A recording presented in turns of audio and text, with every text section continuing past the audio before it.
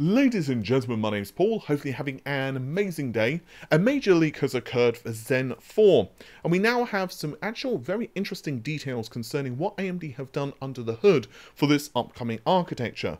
Zen 4, and specifically Raphael, the AM5 platform as well, is going to launch the end of this year. And I have to say that direction AMD are going here is rather interesting. We'll discuss it in just a moment, right after this message from our sponsor. Did you just build a shiny new PC? Then you'll need a genuine copy of Windows 10 so you can personalize the system and of course get rid of that annoying activation watermark. We've partnered with WhoKeys to give you guys great discounts on Windows 10 keys and of course they could be fully upgraded to Windows 11 too. You can get 30% off using the coupon code RGT during checkout. I've purchased several of these keys in the past using a personal non-RGT affiliated account and they've worked flawlessly with quick delivery. If you want to pick up a copy of Windows for as little as $15 or a cheap and legit copy of Office, check the links out in the video description below. So as a quick recap then, Raphael and AM5 are going to be releasing end of this year, and AMD have already given us some key indications of what they're doing with the platform.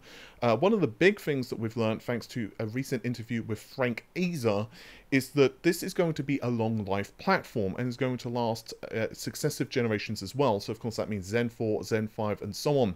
There are going to be some major fundamental improvements over what we have with AM4, including of course DDR5 support, which is probably going to be more important for things like APUs, especially if they start to increase the uh, cache like Infinity Cache and all of this stuff as they move to RDNA2 and later GPU architectures. It's going to have technology like PCIe Gen 5 and all of this other stuff, but really I think most folks are perhaps more interested in Zen 4 itself.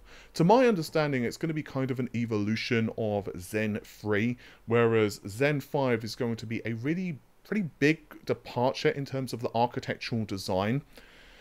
But yeah, performance of this thing is looking to be very impressive. AMD themselves have basically told us that it's going to hit an all-core of 5 GHz plus, although they're being really cagey as to IPC and final clock frequencies. At the end of the day, this is still pretty early silicon, so final clock frequencies are not exactly easy to understand yet anyway. They can kind of have kind of predictions, but that's about it.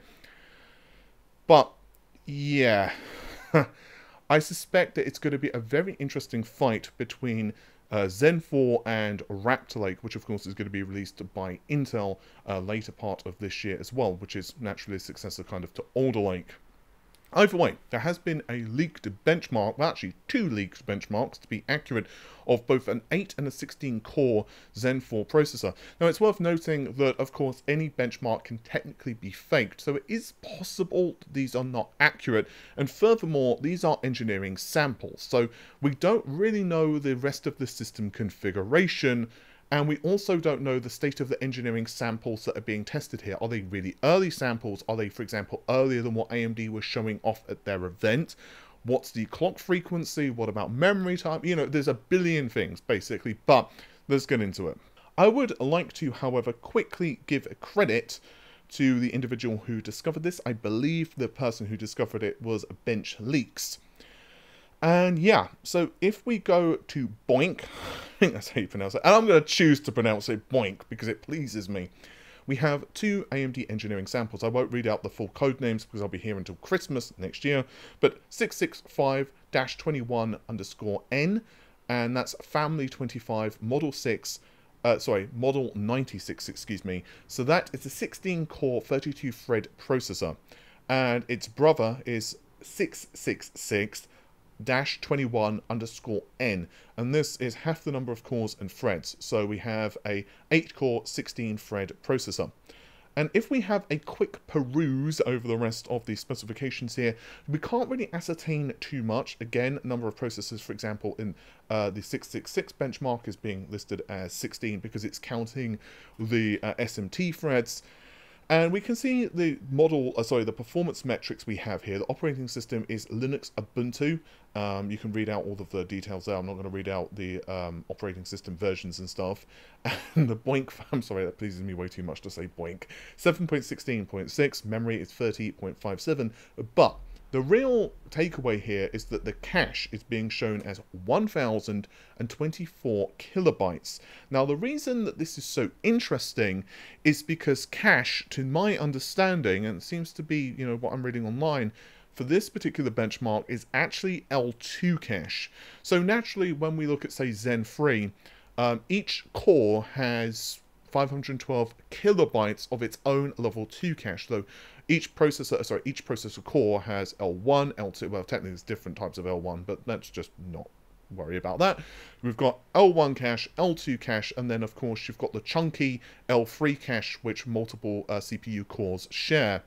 So 512 kilobytes for Zen 3, and this seems to be doubled here with Zen 4.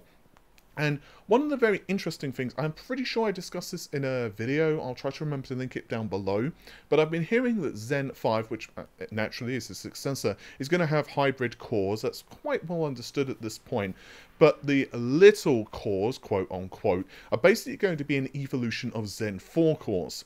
Now, my understanding is that one of the big differences between Zen 4 that we're getting here, Raphael, and the ones which are going to be found in uh, Zen 5 for the little cores, is that we actually have more L2 cache per core, but the L3 cache is being neutered. So it's going to be quite interesting because theoretically this could mean that what? We get like 2 megabytes of L2 cache per core, or perhaps AMD have done, you know, I, I honestly don't know at this point. It's, it's just highly interesting. The performance, though, of Zen 4 is going to be pretty mind-boggling. I've heard performance results between 25 and 40% over what, you know, AMD currently have. Just to be clear, I'm hearing that that is inclusive of clock frequencies as well. And I have heard that these may be able to hit 5.4 gigahertz overclocked. Although I wouldn't put a huge amount of stock in that yet because again, we are talking super early silicon. So I don't also know whether that's all core or single core. I don't know. Um, and at the end of the day, again, this is really early silicon. I'm going to be super interested to see what comes of this because I'm sure that there's going to be a plethora, a multitude of leaks over the next several uh, several months as we kind of heading towards the release of these things. Naturally, the main next release that AMD are going to be putting out is the uh, 5800X 3D. By the way, what do you think down below? What do you think of that name? I think it's pretty cool. I don't know. I've heard some people really don't like it. For me, I think it's pretty cool. Um, and obviously that is kind of a great indicator of perhaps some of the technology that AMD are going to be pushing for future processors, hint, hint, hint. But as for those wondering what the performance metrics are compared to, say, Alder Lake, um, we have Greymon who actually put a tweet out asking how the performance of uh, Zen 4 stacks up against Alder Lake, and Evan actually ran um, the same benchmark on his 12900K, and you can see how they stack up yourself, thanks to Evan, and credit to him, and of course I'll link his uh, tweet in the description of the video. Just a quick stress, again, we do not know the state of what Zen 4 is at here, and that's, again, if these benchmarks are even true, um, it's very possible that we're in a super, super, super, super early engineering sample. Furthermore, this benchmark isn't... It's not the most accurate, to my understanding. I, I've not really seen it used to benchmark processors, you know, like, let's put it this way, it's not exactly used in, you know, average CPU review, that's all I'll say. Um, but anyway, switching from that, let's move to NVIDIA and a small update of a couple of their cards. So, according to website WCCF Tech, one of the products that was not shown off by Nvidia at their recent CES event was the RTX 3080 12GB. I'm sure most of you at this point have heard the rumors of an Nvidia GPU refresh. We've kind of seen it with their laptops, and yeah, there's been a plethora of rumors for not just an RTX 3080 uh, refresh, but also some of the 3070 products as well. Basically, one of the big differences between these, of course, is the amount of VRAM. According to what WCCF Tech are stating, of course, it has, well, I'm going to shock you here. It's got 14 gigabytes of, no, not really. It's got 12 gigabytes of memory, and naturally this is going to be GDDR6X as well. Um, we still have 70 SM cores, so it's a small increase. These, I believe, are the same rumors we've been hearing for some time now. So 8,960 CUDA cores. So basically, that's a grand spanking total of 3% increase in the number of active SMs. However, we do not know what the clock frequencies are yet, but the TDP is allegedly going to be kind of hungry, 350 watts. But thanks to the fact that it's got 12 gigabytes of memory, naturally we have, well, wider bus, so 384 bits. So apparently it's got 912 gigabytes per second of bandwidth. So that's a 20% increase over the 10 gigabyte. Now, what about pricing? That's going to be kind of the question. And, well, yeah, obviously MSRP is yeah, well, MSRP is MSRP. However, allegedly, the idea here is that this card will slot between the RTX 3080 and 3080 Ti in the pricing stack. So, you know, let's say 100 to 200 bucks, at least if MSRP was being adhered to, more than the standard reference RTX 3080. And availability or at the very least the reveal of these GPUs is supposed to be the 11th of January or 12th of January. Now, I'll have to wait and see. Um, personally, I've not heard anything really about this yet from uh, my AIB sources. Uh, when I last spoke to them earlier this month, all they all they've basically told me is that they know things are going to be released. Uh, most of them, of course, are talking at the moment about the mouth-watering RTX 3090 Ti, which I have to say is absolutely ridiculous as a GPU. I mean, yeah, it's going to be expensive and hard to get, but damn. like, seriously, that card is actually kind of ridiculous. Like, um, I don't just mean in terms of the specifications, like the specs are really cool, but it's more the engineering that kind of interests me. I think, like, while I'm really excited about the performance prospects about RDNA 3, is again, one of the things that I'm really interested in is just seeing the engineering and the work that's gone into these things, like the craftsmanship, you know, in everything, like power delivery, the, the, the you know, every, you know, I, I don't want to start gushing. I'll be here for until, you know, the next couple of hours. But um, yeah, it's going to be really interesting to see what Nvidia are going to be kind of announcing here.